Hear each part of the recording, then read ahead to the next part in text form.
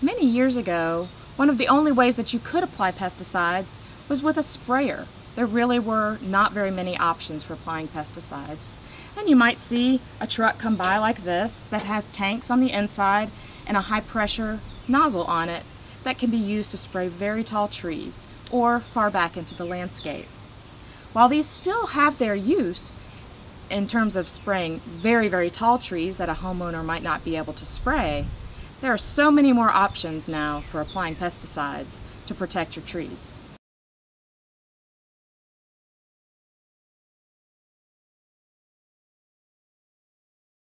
There are multiple different ways that you can control pests in the landscape, even on very tall trees. Now we can spray them as most people are familiar with, really large high pressure hydraulic sprayers, just your typical hand sprayer for a homeowner. Um, but there are some really neat ways that we're able to apply pesticides now that can help reduce the impacts on non-target species. One particular example that's become very popular in the last few years is tree injection. Essentially, the concept of tree injection is that you're directly putting a small amount of pesticide into the vascular tissue of the tree, where it's then translocated up to the leaves. The pest feeds on those leaves or stems and is killed in that way. So how this process works, essentially one of the ways is you can take a just a standard drill and drill bit, drill a hole of a specified size into the tree, and you put a little plug, just like this, inside there. And this plug essentially prevents the liquid from backing out of the tree and it goes in just far enough so that the cambial tissue takes up the liquid that you inject.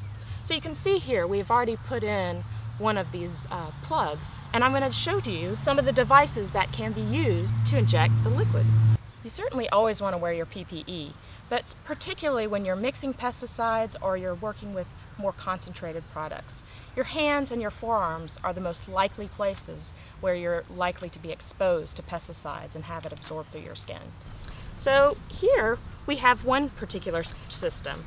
Essentially you have a syringe with a tube coming off of it filled with a concentrated pesticide. At one end is sort of a hypodermic needle like you might find in a hospital.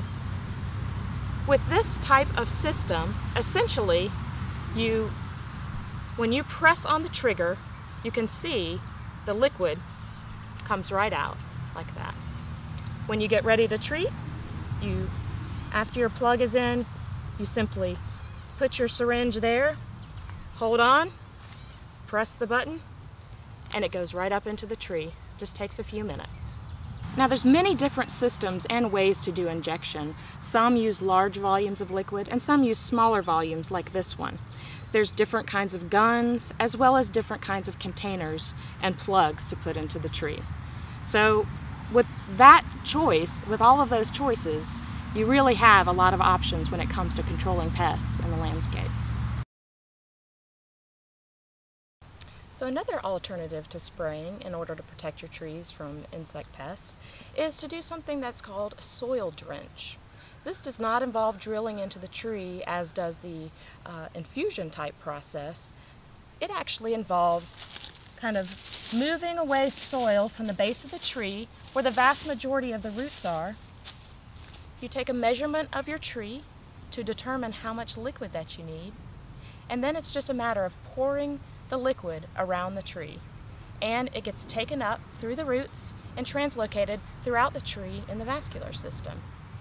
And it actually is a fairly quick process.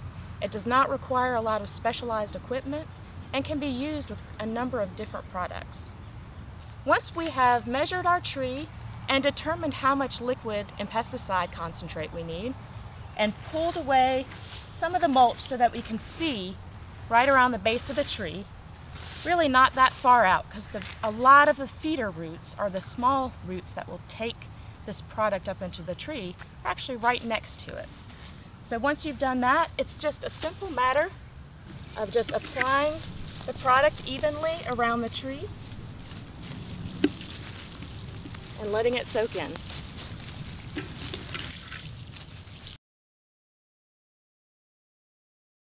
So another factor when controlling a pest after you've identified it is knowing the timing of when to apply your treatment. Now, the, the insect that caused damage on this particular tree was the fall cankerworm, and when it was causing damage was far earlier in the spring. So to apply pesticides now would not do us any good and might actually do harm by killing off beneficial insects that might keep the populations in check. So knowing when to treat is also very critical to get good control.